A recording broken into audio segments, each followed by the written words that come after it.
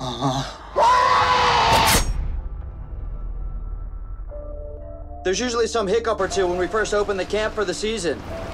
In America, there's no way we'd call this place a camp. How about the new girls, huh? They're nice. But honestly, Christy seems out of place. She's a little rich girl. This place is gross, right? We've only been here two days. Don't be such a pessimist. It's just not what I was expecting.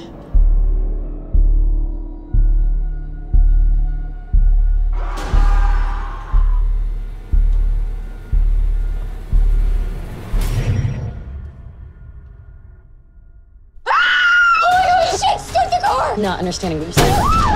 No! Christy, what happened? Tony was dead.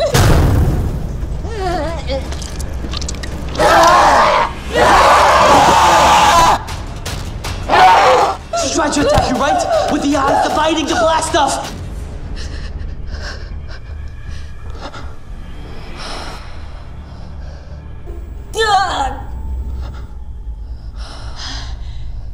Think she's okay now.